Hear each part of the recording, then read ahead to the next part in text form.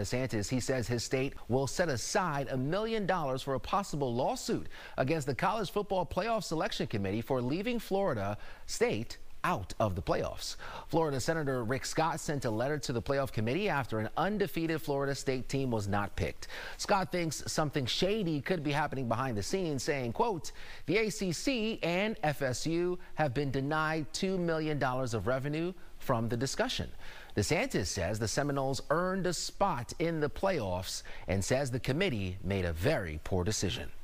I don't think there would be anything that where they could get relief prior to the tournament, obviously, but in terms of uh, going forward, and I don't know if there is, but what we decided to do we're setting aside a million dollars for any litigation expenses that may become as a result of this really, really poor decision by the college football playoffs to exclude an undefeated team who won a big uh, Power Five conference uh, championship.